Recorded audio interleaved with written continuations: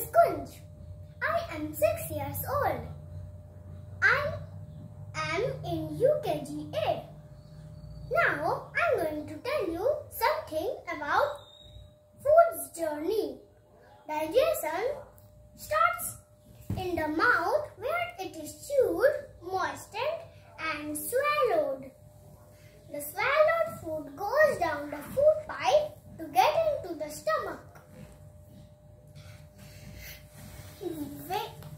Where it is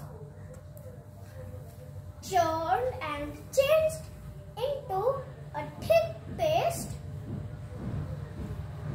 The stomach sends the thick paste to the small intestine in short amounts. There, the food is treated with digestive juices and gets completely digested. The useful part of the digested food go seeps into blood through the walls of the small intestine. The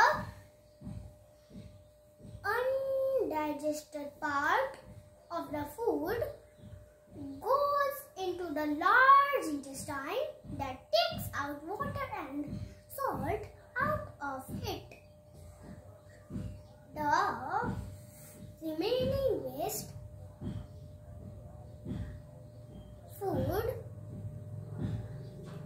is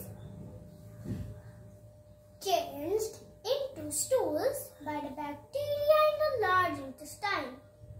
The stools pass out of the body at intervals. Thanks for watching this video. If you like this video, give a like and share this video. Good. Please